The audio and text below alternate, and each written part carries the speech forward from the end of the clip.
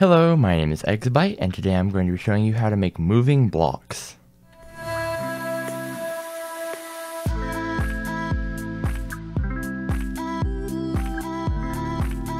Now, as I'm sure you can imagine, these are not actually blocks. They are entities. It's a multi-layered thing of um, falling blocks, shulkers, and armor stands. The falling block gives it its uh, look, which um, I haven't gotten rid of the timer yet so that they all just decayed so we can actually see what's going on. So all the falling blocks have uh, decayed and dropped as items down here. So now we can see what's going on underneath.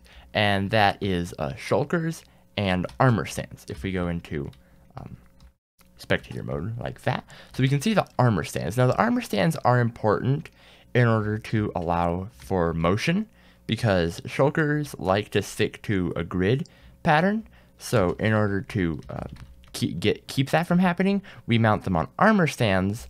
That way, if we teleport the armor stands, we can get the shulkers to move smoothly, which is not something that they naturally do. We can keep the falling blocks from decaying with this command over here, which just runs as all falling blocks and sets the time value to 1. And that keeps it from counting up, and will keep these falling blocks from decaying over time. So now this structure is uh, basically permanent. It's not going to go anywhere unless we uh, tell it to. And as we can see, because we're using shulkers, it has full collision and everything. Like we can do parkour and all that stuff, even though it's actually moving, or it's not moving, even though it's actually an entity.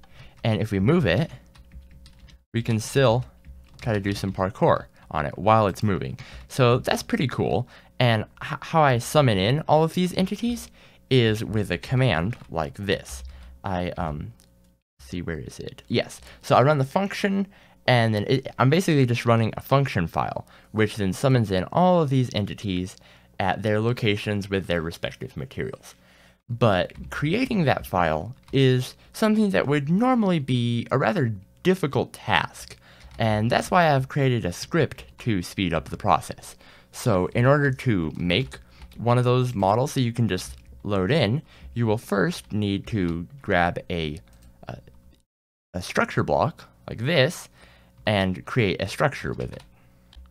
So in order to make the structure, first I'm just gonna um, make a few modifications to this. Let's grab a, yeah, red uh, chiseled stone or something like that. Uh, add that in a few places there. Now, at the structure block, I already have that area selected, so I'm just going to do wall. And that should be good. So now I've saved it as a file in my .minecraft directory.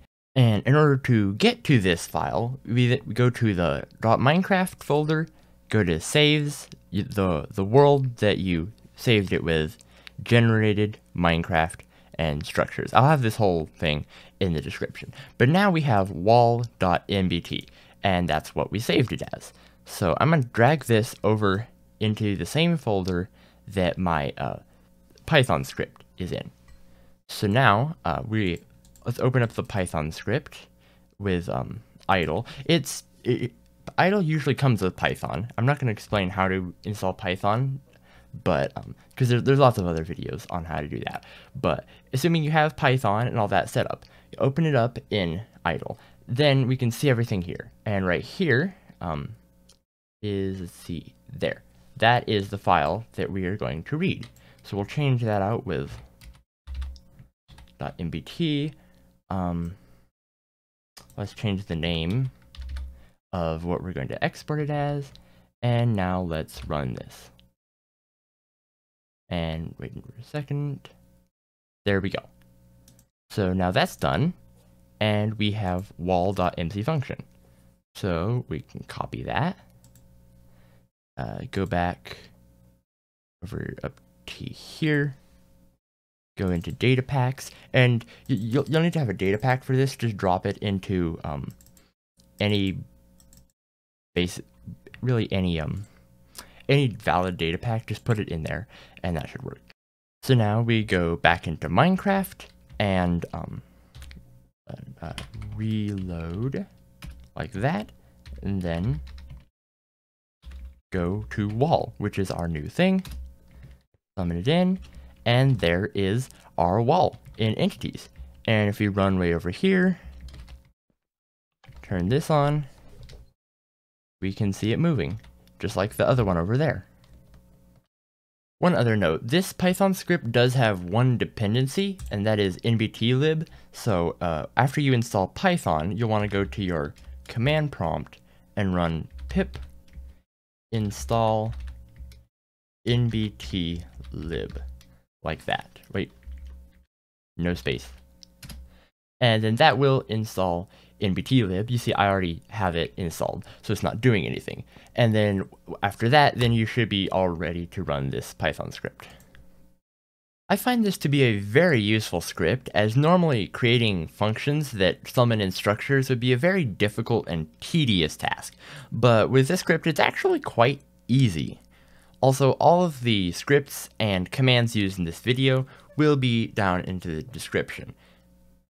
Another thing to keep in mind is that this is designed for use with solid blocks and only copies what type of block is in each location. So any type of like stair rotation or slab or any of that type of stuff won't be won't be recorded. So you probably want to stick with solid blocks for this.